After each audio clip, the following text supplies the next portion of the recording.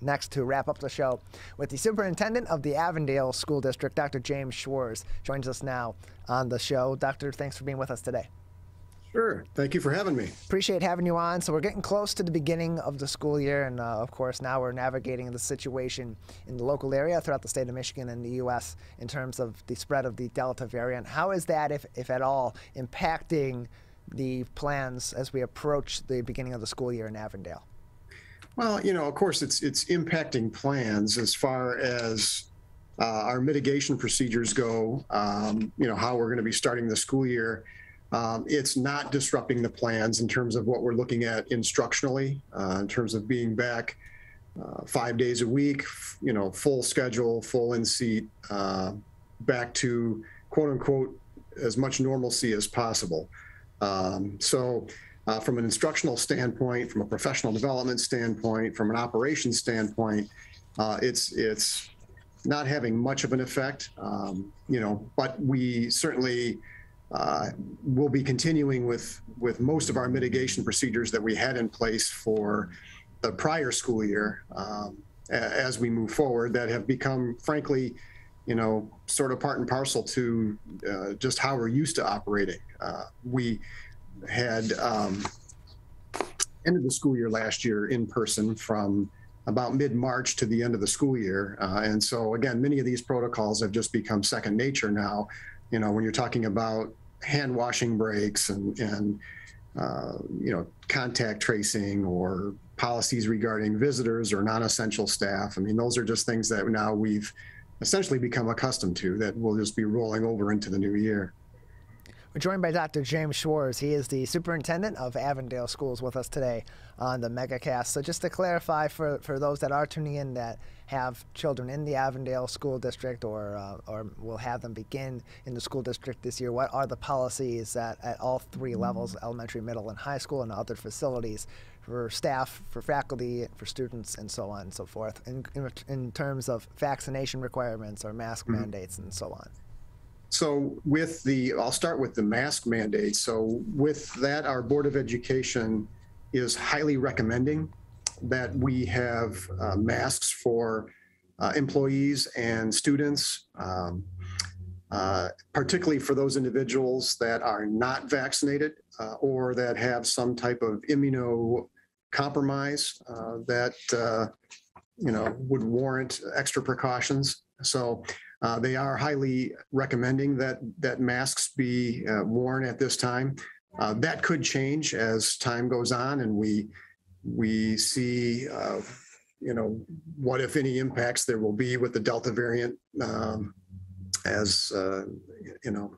Um, as that may or may not become more pervasive in our area. So, you know, we're watching closely the local statistics in regards to um, the impacts of COVID transmissions. Uh, in in our uh, in our neck of the woods, so to speak, it's it's quite low at this point.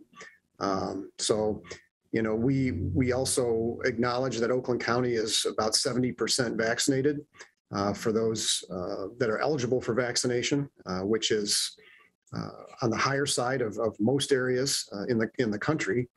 Uh, and we know that childhood transmissions of COVID, again, particularly in our area, are quite low. Uh, so, um, you know, we certainly weighed, you know, the CDC uh, uh, recommendations, uh, the MDHHS recommendations, you know, the, the World Health Organization, the American Academy of Pediatrics. I mean, everybody uh, in the medical community has their opinions, uh, you know, and certainly we have, we're in tune with all of those. and, and we're abiding by the highly recommended um, uh, statements by the primarily our CDC and MDHHS, uh, which say masks are highly recommended. So uh, we're essentially mimicking what they are touting. Uh, there is an order by the CDC uh, regarding public transportation, which includes school buses, where students will have to be masked on school buses. So uh, in that venue, we will be requiring masks as they prescribe. So, um, and again, we'll be keeping our eye on uh, what is happening locally Uh, Because of course, in those recommendations by those entities, they say you should um, require your mitigation efforts depending on level of transmission in your local community. Uh, And so uh, we are abiding by that as well. So uh, every day we are looking at those statistics. Um, So for now, with masks, it is highly recommended uh, in our school district, and I believe in our neighboring districts as well. Pretty much most of Oakland County is, is adhering to that highly recommended uh, format for starting school uh, with the mandate for school transportation, school buses. Uh, And we'll be, we monitor that very closely. Um, As far as uh, other types of mitigations that we are in tune with, uh, vaccinations, we are highly encouraging folks for vaccinations. Uh, We do not have a a vaccination mandate, uh, but certainly we are highly encouraging those vaccinations uh, for those that are eligible to receive them, um, both on the part of families and of staff. Um, in school operations, you know, hand washing breaks, as I mentioned to earlier, will still continue. Uh, we will have regular hand washing breaks through the day, uh, K K 12. Uh, social distancing, we're going to work to adhere to as much of social distancing towards three feet uh, as possible. Uh, that would be, you know, more or less dictating traditional seating in classrooms, um, uh, traveling in hallways, uh, and cafeteria as, as students, you know, consume their lunch and so on. So uh, we are striving to that three feet where we can uh, throughout the school day and each of the levels. Uh, for those that are choosing to wear masks, um, that we will continue with mask breaks. Uh, so to, to offer opportunities for kids to step away and be able to remove their mask for, for some time. Uh, we are not going to start the year with daily screening as we did last year. Um, should transmissions necessitate us to return back to daily screening procedures of students uh, and staff, uh, we will do so. Uh, but as, as of right now, we are not instituting that. Uh, the contact tracing, we will continue with contact tracing as, uh, as we had uh, following the Oakland County Health Department's protocols, as we have last year. Uh, so that will continue with any, uh, any exposures.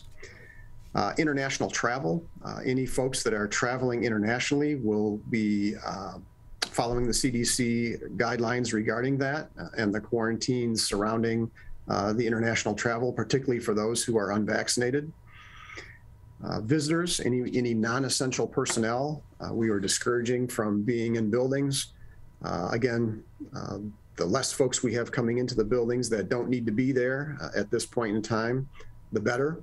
Uh, so we're discouraging, you know, non-essential employees or non-essential folks uh, in the buildings as we start the year. Uh, large-scale assemblies for students, uh, we're also discouraging. Um, that would be like all school assemblies. Uh, so smaller assemblies are fine where students are able to space out within a gymnasium or a cafeteria or auditorium. Uh, but you know, whole school, close quarter type assemblies, uh, we're discouraging. We are continuing with our sanitization and cleaning schedules, uh, where we are sanitizing particularly uh, high touch surfaces frequently throughout the day, doorknobs, handles, railings, uh, all of those types of high touch areas. We'll have multiple cleanings throughout the day. And of course, we have masks and sanitizers in the classrooms available for students as they uh, need and wish. So, uh, you know, those are a majority of our uh, mitigation strategies as we as we start the school year. At this point in time, with all the mitigation strategies you've just told us about, what's been the reaction from parents and families? You know, again, it's a mix. No matter what decisions you make, you're going to make people unhappy. You know, this is such a politically sensitive issue, unfortunately, uh, that uh, no matter what you decide to do, you're making people mad and you're making some happy. And, you know, uh, the, you know, the feedback is largely, um, and I'll say increasingly, is, is folks um, appreciate the, uh, the personal choice frankly. We're hearing more from the folks that are, are, are liking the personal choice when it comes to uh, masks, uh, you know, and, and their choice as a family to, to do that or not do that. Um, you know, and, you know, again, we're not going to please everybody with what decisions are made. So, you know, we are following closely with, with what the CDC language is uh, and the MDHS language is, uh, and, and abiding by that sense of choice that they are also uh, uh, following through with at this point in time. We're joined by Dr. James Schwarz on the MegaCast. Uh, doctor, just another couple of minutes left before we say goodbye today. Uh, a great article earlier today uh, from Bridge, Michigan Magazine about the budget situation, how it re- relates to in person learning this year. There's not that, uh, as it's quoted in here, maximum flexibility that gives districts necessarily the ability to switch from the in person learning to all virtual. They're going essentially going back to the previous requirements for in-person instruction in, in the schools. In the event that there are outbreaks in individual schools or throughout the school district, how is the budget situation impacting the school district's response to those? And is there any worry that potential outbreaks could impact what already is severely impacted funding due to COVID? Mm-hmm. So if, you know, if there's a chance that, you know, we are forced back into a remote situation, uh, we are prepared to do so. Um, from a budgetary perspective, you know, we were able to utilize uh, the federal stimulus dollars that we received last year via, you know, the, the COVID monies, so to speak, to buy one-to-one technologies for students. So we have all those. Uh, so if if the need is there to switch, uh, we have those devices where we can activate those and and move into that that realm rather quickly. You know, teachers also have the experience of teaching remotely, uh, so making that switch um, uh, in a rather quick fashion will be certainly a lot more seamless than it was when we had to do it the first time back in 2020. Uh, so you know we have uh, a lot of seasoned folks that that uh, are skilled, and you know, and can and make that transition rather quickly. Um, we also have schedules uh, and, and mock-ups of schedules that we can flip to rather quickly uh, that we've created throughout time, particularly these last 18 months. Uh, so, um, so both from a, from a, uh, a, a staffing and an effort perspective as well as from a budget perspective. You know, I think we're well equipped to do so. Uh, we're very hopeful that that never comes to be again, uh, and certainly we're working toward that end to not have that happen. Um, and certainly, uh, you know, as we continue to encourage folks to get vaccinations and get out there, and you know, because we really don't want that to be a reality. So, but we are prepared in the event we have to.